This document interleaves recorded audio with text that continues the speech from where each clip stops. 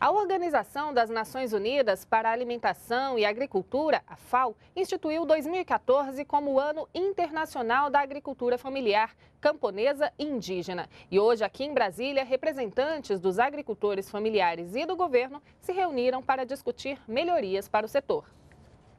Há 12 anos, o agricultor familiar Idalécio Barbeta montou essa pequena feira dentro de um restaurante em Brasília.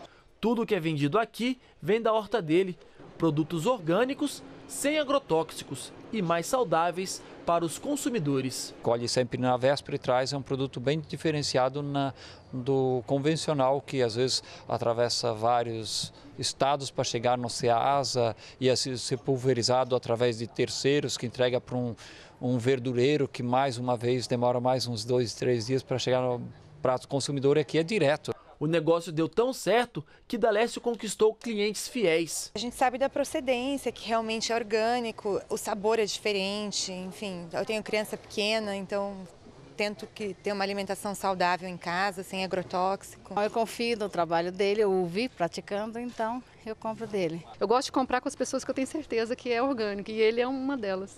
A agricultura familiar está cada vez mais presente no prato do brasileiro. Segundo o Ministério do Desenvolvimento Agrário, 70% do que é consumido no país é produzido pelos agricultores familiares. De acordo com dados do IBGE, existiam no Brasil, em 2006, mais de 5 milhões de estabelecimentos agropecuários. Desse total, quase 4 milhões e meio eram classificados como propriedades de agricultura familiar. E para garantir políticas que permitam que esses agricultores continuem trabalhando, gerando renda para suas famílias e também alimento de qualidade para a mesa do brasileiro, representantes e especialistas do setor se reuniram hoje em Brasília. O ministro do Desenvolvimento Agrário, Miguel Rosseto, afirmou que o país é referência mundial quando o assunto é agricultura familiar. Agricultura familiar são aquela produção numa terra mais repartida, num, são os pequenos produtores eh, que marcam a história do nosso país com muita força. A FAO,